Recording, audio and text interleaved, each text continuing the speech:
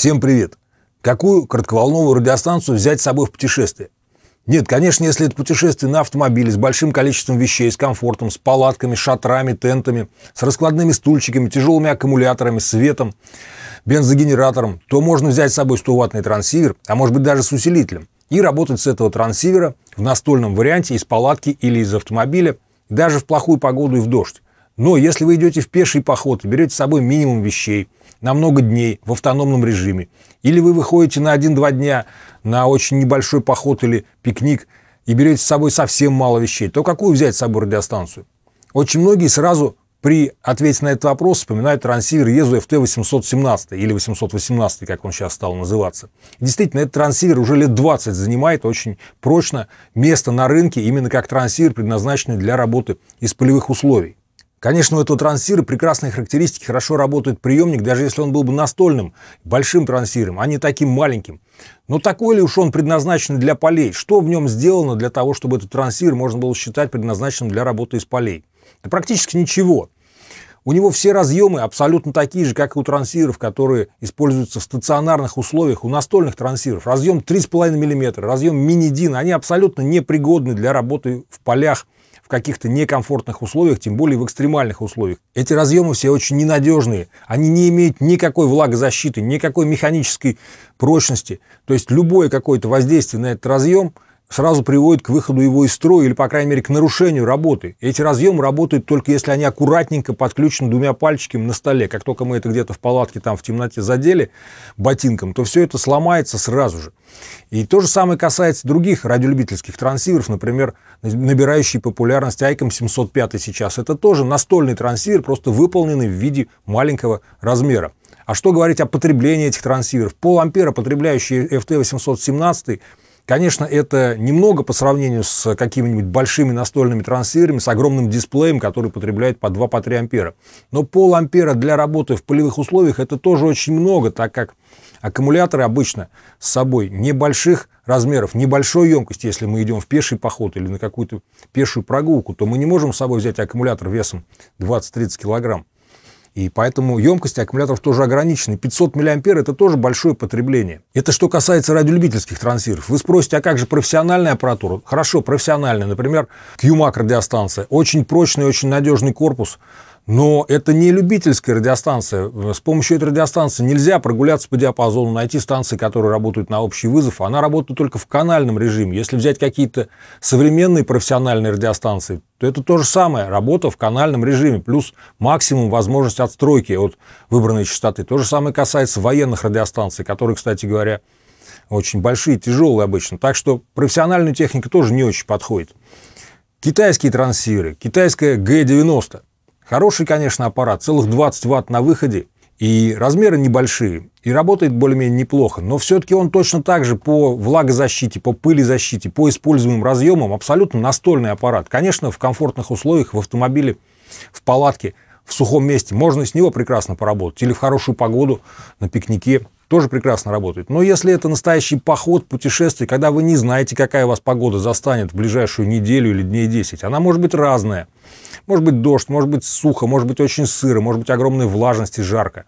А может быть вообще снег. Поэтому вы не знаете, какая будет погода, и трансивер должен быть такой, что он работает при любых условиях. То же самое касается и китайского X6120, это точно так же настольный трансивер. Он очень маленький, он, можно сказать, что переносной с автономным источником питания, но при этом у него огромное количество разъемов со всех сторон. И разъемы все эти исключительно настольные, исключительно предназначены для комфортной работы в сухом, теплом месте. Это касается и разъемов 3,5 мм, и разъемов USB в любом их исполнении. Микро-USB, мини-USB, USB Type-C. В общем, любые USB-разъемы – это исключительно разъемы, предназначенные для работы дома на столе. Если вы так не считаете, то я вам приду такой пример, после которого вам должно стать понятней. Представьте, что разъем микро-USB или 3,5 мм установлен на автомат Калашникова. И этот автомат не работает без работы разъема. Представьте, что вы бегаете с этим автоматом по лесу в дождь и снег, и в любой момент вам нужно упасть, лечь, э, куда-то там спрятаться, стукнуть этим автоматом куда-то. И представьте, что будет с этим разъемом. Конечно же, разъем сразу выйдет из строя.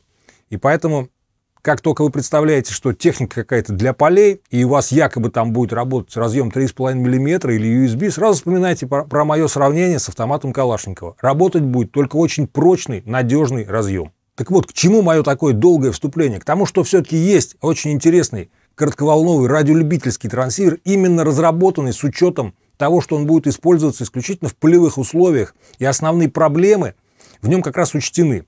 А именно, он имеет прочный металлический корпус, достаточно плоский, практически не имеет выступающих частей, разъемы применены исключительно металлические и прочные. Конечно, эти разъемы не лучшие в мире, гораздо есть более прочные и надежные разъемы, но это какой-то минимум, хотя бы такие разъемы уже хорошо.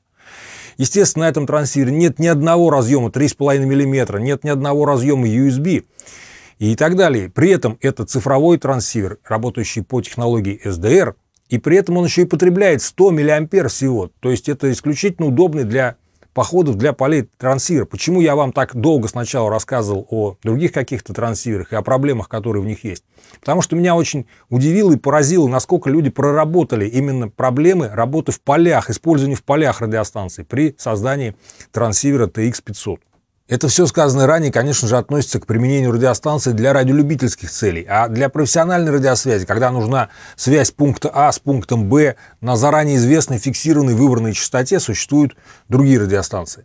Итак, трансивер Discovery TX500 от производителя Lab 599, по-моему, это лучший вариант радиолюбительского трансивера именно для радиосвязи из полевых условий, из походов, из экстремальных каких-то условий.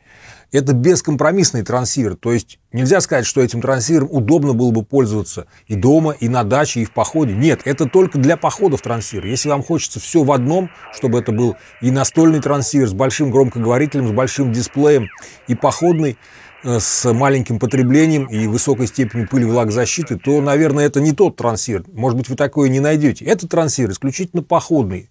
То есть дома, конечно, я бы стал пользоваться каким-то другим настольным трансивером, более удобным, как минимум звук из э, громкоговорителя, встроенного вот в этот вот микрофон, не такой качественный, как из больших динамиков или тем более из внешних каких-то динамиков. Так как этот трансир походный, то динамик у него маленький. А для стационарных условий хотелось бы использовать другой какой-то трансивер. Но этот трансивер, по-моему, такой лучший вариант именно походного трансивера. О нем подробно я вам расскажу в отдельном видеообзоре в ближайшее время. А сейчас пока на этом все. Используйте радиосвязь, занимайтесь радиолюбительством и дома, и в походах, и в путешествиях. И, может быть, применяйте радиосвязь не только для радиолюбительства, но и для каких-то профессиональных, практических целей. Спасибо, что смотрели это видео. Здесь был Алексей Игонин. Всем пока.